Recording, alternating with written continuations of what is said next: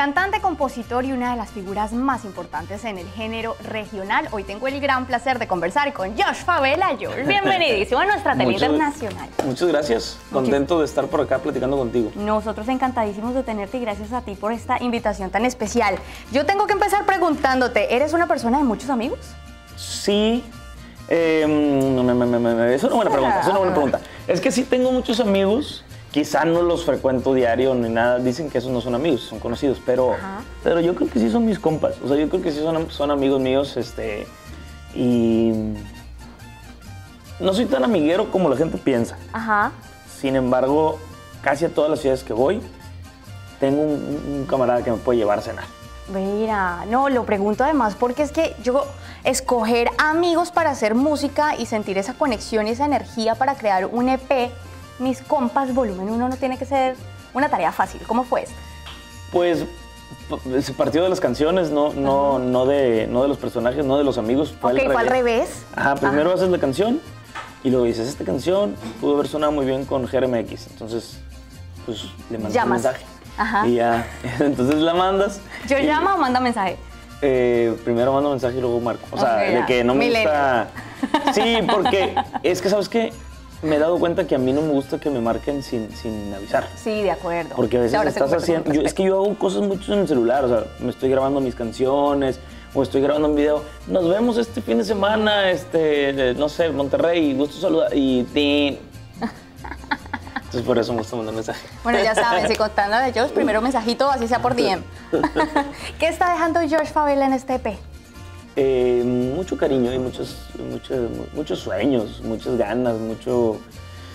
el trabajo de mucha gente.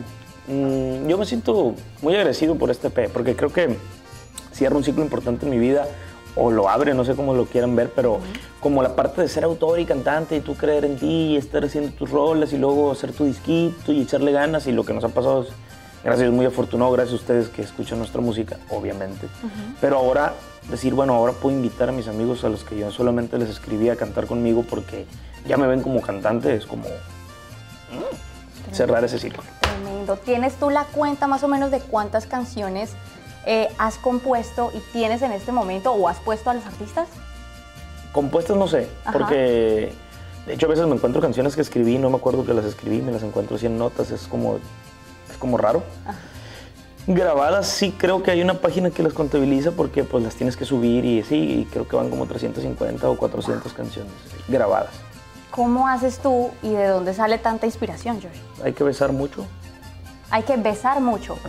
Ay, wow.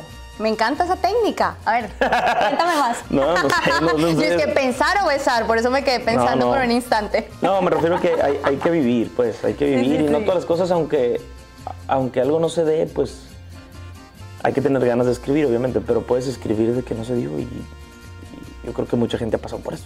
Entonces, al final la gente conecta con las emociones vivas, con las emociones reales y con lo que, si tiene un cable a tierra, que aterriza ese feeling y que no es algo inventado, pues, que tiene su dosis de realidad, porque si no termina siendo como puro cuento y... La neta, las canciones que- que no tienen así como Así como la energía, el feeling, la vaina, el sentimiento. La... esa madre, la- el alma de la rola, la esencia de la canción. Porque puede estar muy bien escrita, muy buena melodía, pero si no tiene esa esencia, no se va, no se va a quedar. También quiero tocar el tema contigo acerca de Sinaloa. Estás allá cerca, queda tu estudio. Los videos fueron grabados, si mal no estoy, también en Sinaloa. Eh, los videos no, Ok. eh, la música sí. La música sí. Sí. Bien, hablemos por qué es tan especial tu tierra. Sabes que yo quiero mucho mi estado, me siento muy orgulloso y creo que se conoce una pequeña parte, una pequeña porción de lo que es, pero hay gente tan capaz en mi estado y tan... Hay cantantes, hay músicos, hay deportistas, medallistas olímpicos, hay pues muchas cosas muy buenas, o sea, la gente es muy trabajadora, es echada para adelante. Me gusta mucho mi estado, honestamente, y, ahí vivo. Es la forma que tengo de honrarlo también, de, de, de regresarle un poco de lo que hizo en mí, porque cada estado, fíjate, por, por y, y en Colombia también está muy marcado el tema del eje cafetero. Sí, y total, son y- regionalistas, Sí, de y alguna van- manera. Y van moviendo, es como pequeños países dentro del país. ¿De acuerdo? Ok, Sinaloa es un pequeño país dentro de México, neta. Es un estado que tiene una apropiación cultural muy fuerte y nos forja a los morros a, incluso a modular la voz. O sea, la- la- el, el rollo de cómo hablamos es porque todos hablan parecido. O sea, es como bien chistoso, pero la colocación de la voz así medio nasal, medio... Es, es parte de haber nacido ahí. O sea, si hubiera nacido en otro lado, hablaría diferente. Y no Em, cantarías igual. Quizá, pero la, o sea, todo, el- el- tu forma de ser, tu, tu personalidad, como que no. Yo ya dije, lo voy a hacer esa madre es bien sin hablar. Pero bueno, amo mucho mi estado y me gustaría que más gente lo conociera, no solo por las cosas malas que salen, porque, pues, claro, Nos pasa a todos. Sí, pero hay muchas cosas bien positivas y muy bonitas. Qué lindo, George. Terminemos con los planes. Sabemos que vendrá también y estás preparando un volumen 2. ¿Qué va a pasar con este? ¿Vas a tener shows próximamente en donde vamos a poder disfrutar de tu música Claro que sí, los shows pues están, siguen. De hecho, hay planes de ir a Colombia. Buenísimo. Hay planes de, de- de girar un ratito por allá y Centroamérica. Este, la verdad es que traigo toda la idea de, de hacer el volumen 2 y, y probablemente posterior a eso hacer una gira. Este, me gustaría que se llamara Mis Compas porque, porque sí. Claro, para tenerlos en el escenario también. Pues a lo mejor Hay cinco si, por uno. si andan cerca que, que se dieran la vuelta eso sería increíble. Y, y nada, muy feliz con lo que está pasando, ¿no? A nivel autoral sigo escribiendo para muchos artistas, sigo haciendo canciones. Sigue pasando aquí magia en el estudio, hacemos música. Estoy, estoy haciendo cosas de hash. Es De hash, mira.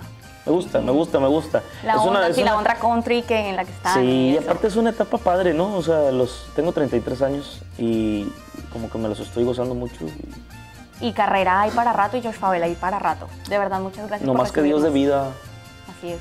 No y de pido, talento. Dios, no pido a Dios que me dé, nomás que me ponga donde hay. Eso, eso. Papá esa. Despidámonos entonces con una invitación para escuchar mis compas volumen 1. Creo que sí, a toda la gente, la verdad, agradecido por el momento, por el espacio y pues quiero invitarlos a escuchar mis compas volumen 1.